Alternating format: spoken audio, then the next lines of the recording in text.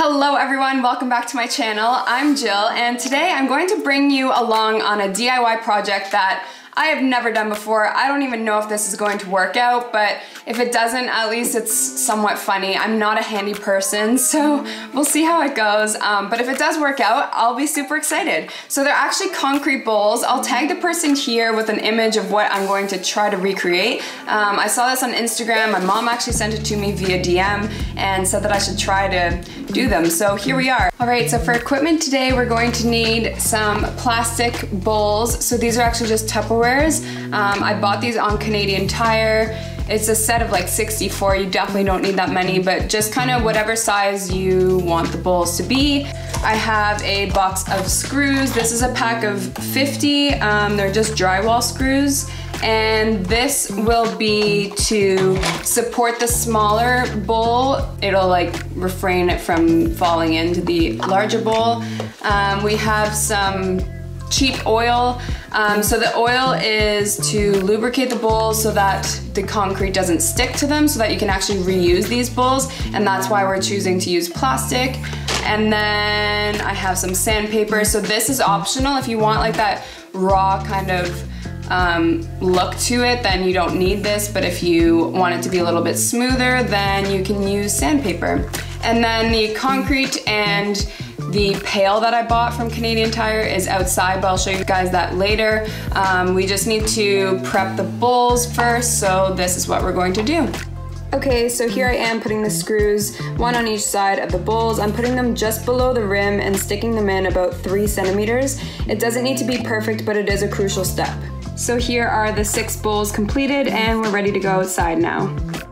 All right, you guys, so I actually, the first time around, I definitely underestimated how quickly I had to move. Um, I did not have my bowls oiled or ready to go. Um, I only had the screws. I didn't even have like the weights yet, so filming that whole thing did not happen. It's a different day. This is my second set of bowls that I'm making. So step number one, prep the bowls, put the screws in. Step number two, oil them. Step number three, mix the concrete. And then step number four, put the concrete into the bowls, put the weights on top, and then have them on an even surface to dry.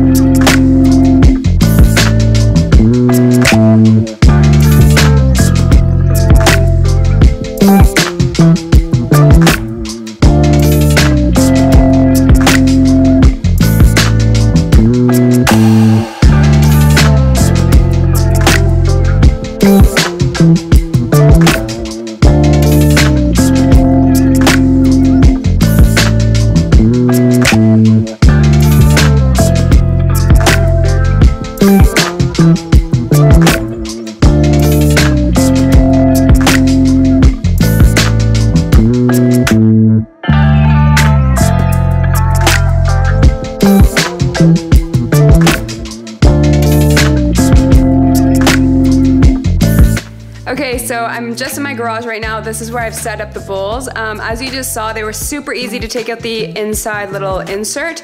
Um, now it's time to flip them over and I'm just gonna find something to tap the bottoms and outside with and then hopefully they should just release right out. So I'll show you guys that.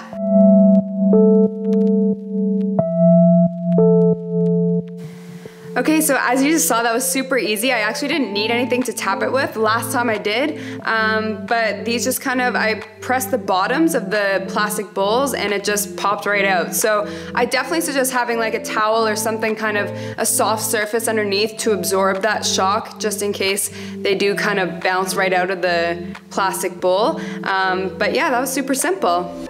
All right, so this is the smallest bowl that I made. It's so adorable. I actually love this size.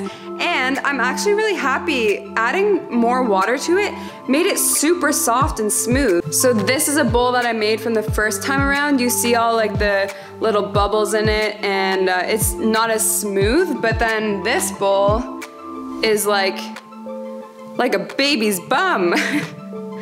Okay, so I've put my first set of bowls beside my second set of bowls that I've made, and I want you guys to tell me which ones you prefer. Um, I think I might sand down the tops of kind of the smoother set, which is the second set of bowls, and maybe turn them into candles. I think that'd be super cute. Um, I saw that online, so not my idea, but I love it. Um, and then the first set of bowls, I think I might just leave them raw and turn them into planters for cute little succulents or different flowers, um, just because they're a little deeper so they can support the root systems a little bit better.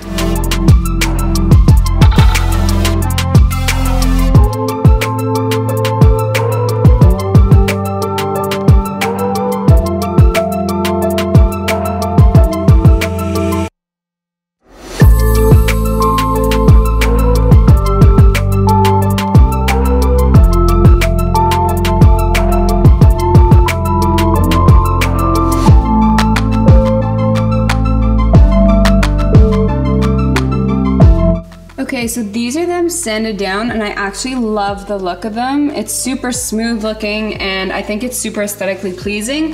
Um, I was originally gonna leave my first set to be like more and more raw and authentic looking, but I think I might go ahead and sand them down because they still are a lot more kind of gritty looking than the other ones. Um, so I don't think it'll make a huge difference, but I do actually prefer the sanded look. And that way too, it won't be like chipping at all. Like all these pieces will eventually chip and I think it'll just be easier to sand it down and have it look good forever. All right, you guys, so that concludes this video. I hope you enjoyed that tutorial on how to make these concrete bowls. Um, it was new to me and I know that this video is probably going to be super long. I'll try to make it as short as I can for you guys. So make sure to subscribe and like this video. And if you do end up recreating them, send me your photos over at my Instagram account, either at Gill Webster or at Barre with Gill, and I'd love to see them. Have an amazing rest of the day, everyone. Bye.